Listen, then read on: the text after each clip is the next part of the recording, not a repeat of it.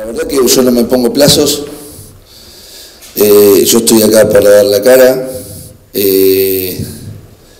obviamente no, no, hablé con la parte dirigencial, pero, pero bueno, faltan, o sea, hoy, hoy se vio un cambio de actitud por lo menos de nuestros futbolistas a lo largo del partido, la imagen, si bien no nos alcanza, eh, haciendo autocrítica, eh, pero hubo, una rebeldía un poco mejor.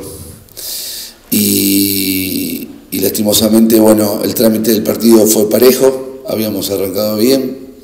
eh, circulando bien la pelota,